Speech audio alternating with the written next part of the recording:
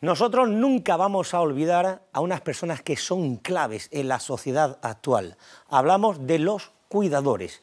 Más de 480 andaluces se han formado en la escuela de cuidadores, personas que eh, se olvidan de lo importante que es saber cuidarse para poder cuidar a los otros. Vean lo que se ha encontrado hoy en Arcos de la Frontera Marina Romero. Yo llevo seis años cuidando a mi madre. ¿Cómo cambió tu vida cuando tuviste que dedicarte por completo a cuidar a tu madre? Cambió por completo, ¿no? Porque aunque yo iba a verla, pero no era el día a día diario de todo, todo. Es así, yo le pongo de comer, come, si no le pongo de comer, no come. Yo la tengo que bañar, todo. Y cuando está aquí con las compis, estás tú un poquito más libera. Hombre, el ratito que me despeo. ¿Cómo es tu niña? Maravillosa y tiene dos niños que son maravillosos. Y lleva para adelante a sus niños, te cuida a, ti. Y me lleva a mí, me lleva para adelante a sus niños y a mí. Y tú le dices que ella se tiene que cuidar también un poquito. Hombre, yo le digo a ella todo lo que puedo decírselo. Que tenga cuidado con ella, que las demás ya tienen edad. Y vosotras como cuidadoras profesionales sabéis lo difícil que es cuidar a alguien. Pues sí. Ellos vienen aquí y para la familia es como un respiro.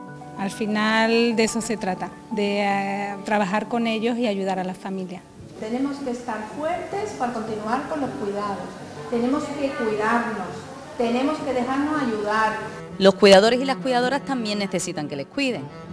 Efectivamente, es que nos olvidamos de que ellos son personas que tienen una serie de necesidades e incluso hasta a ellos se les olvida de que son personas, se dedican tanto, tan exclusivos al cuidado, que se les olvida su autocuidado. Y hay que decírselo con charlas como estas que estamos teniendo. Efectivamente. Primero cuidamos a los niños, después cuidamos a la madre, después cuidamos al marido. ¿Y a ti?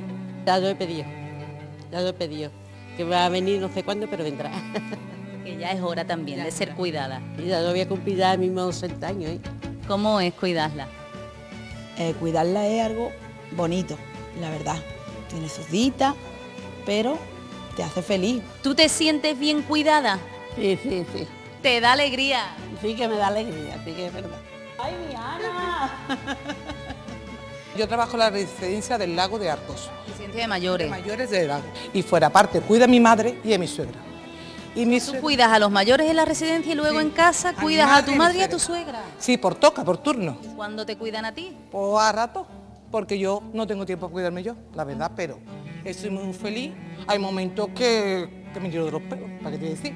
pero feliz. Esto es un trabajo a tiempo completo. Pues sí. Hemos llevado toda la vida cuidando a gente. Sí, primero mi madre, mi, me llega a mi casa mi madre, mi padre y mi abuelo. Con murió con 100 años mi abuelo. Y ahora, ahora es. Ahora es, pero vamos, como estamos acostumbrados a esto, que yo nunca he hecho otras cosas. ¿Nunca has hecho otra cosa que cuidar a los demás? He cuidado a los demás y, y hacer algunas veces lo que yo puedo. ¿Y tú te cuidas a ti misma? Ahora mismo sí, Mira, eh, hay momentos que... ¿De vez en cuando? Pero vamos. ¿Nos vamos a cuidar más a partir de ahora? Sí, seguro. ¿Cuánto la quiere tú a ella? ¿Cuánto? Es que tantos pillos no, no, no puede expresar tantos No se puede ni contar, ¿no? ¿Cuánto la quiere?